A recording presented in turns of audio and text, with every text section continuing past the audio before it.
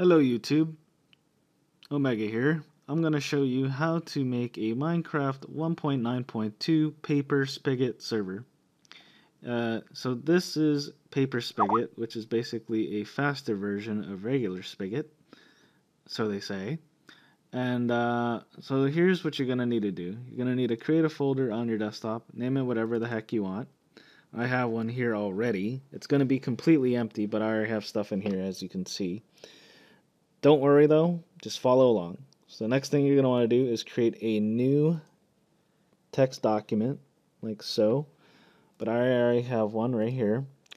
Now go ahead and look in the description and pay, copy the run bat code and then open up your new text document open mine up and then paste that code into there like so and then you're going to want to save as and you're going to want to call it something like run bat run.bat or start.bat or something like that.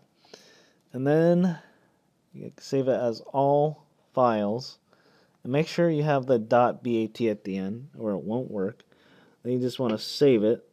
But I'm not going to save mine because I already have a bat file. So I'm just going to exit out of that. And as you can see the bat file will look like that right there Next thing you want to do is just run that bat file like so. It's going to create all your files and it's probably going to say you have to accept the EULA terms and all that stuff. So just go ahead and um, well, just you know how to do that, I'm sure. Just open up the EULA and set EULA from false to true. Save your changes, and then once that's done, restart the server and it should load all the other files that you are missing. And there you go. You have a Minecraft 1.9.2 spigot Bukkit server. Now if you want to know how to port forward I will have all the links in the description for how to port forward how to find your IP just follow those links. It's very simple. But now that I have the server created let me just go ahead and uh, log in on Minecraft here. Alright, and then I can join my server. As you saw, it was 1.9.2, blah, blah, blah. And then here's my test server that I'm kind of working on here. Oh, look it.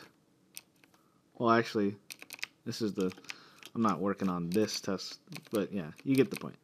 So it's Minecraft 1.9.2. You can play solo with friends, whatever you want to do, offline, online, etc., etc.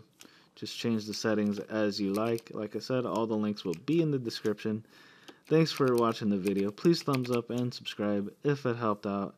And if you need more help, you can always join my TeamSpeak, and I'll be glad to help you the best I can. IP's in the description, and also my server is in the description if you want to come check it out or whatever. So thanks for watching, guys.